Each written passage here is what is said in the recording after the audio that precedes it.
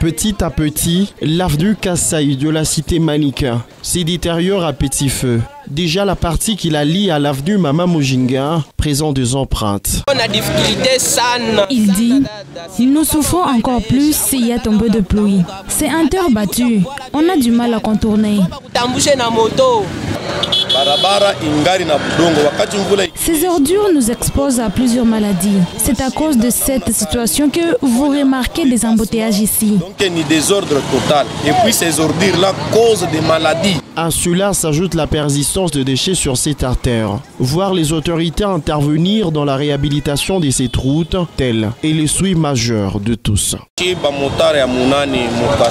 Nous, les motards de l'avenue Kassai, nous souffrons beaucoup à cause de ces ordures. Nous demandons aux autorités qui s'occupent de la propriété de venir les évacuer.